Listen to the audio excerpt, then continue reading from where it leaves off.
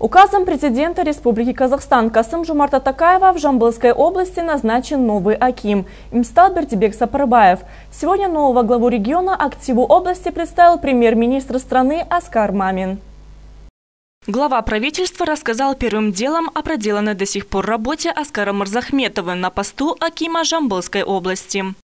Аскар Сабекулы Марзахметова по заявлению Аскара Мырзахметова, президент Республики Казахстан принял заявление об отставке. Аскар Мырзахметов проработал два года на посту Акима Жамбулской области. Благодаря ему область успешно развивалась. На активы выступил и бывший Аким Аскар Мырзахметов. Он отметил, что сам обратился к главе государства с просьбой об отставке.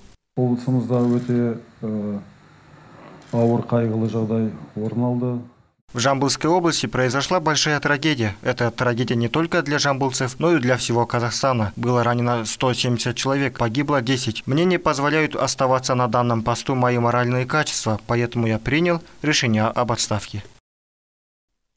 Бердибек Машбекович Сапарбаев родился в селе Бессары Козылардинской области в 1953 году. На днях ему исполнилось 67 лет. Свою трудовую деятельность Бердибек Сапарбаев начал в 1969 году в качестве работника совхоза «Задаринский». Последние годы занимал различные должности правительственного уровня. Имеет орден Отан, Парасат, Курмет, Барыс, Дружбы. В ходе заседания актива Жамбылской области премьер-министр Республики Казахстан Аскар Мамин отметил достижения Бердибека Сапарбаева и его многолетний опыт.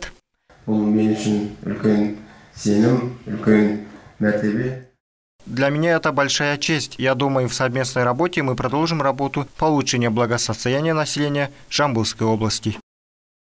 Участники актива выразили огромную благодарность бывшему Акиму области за плодотворный труд на благо Жамбылского региона. Аскар Мамин пожелал новому Акиму успеха в работе и выразил уверенность, что Бердибек Сапарбаев поднимет регион на новый уровень. Катерина Иващенко, Азат Байтимир, 77 News.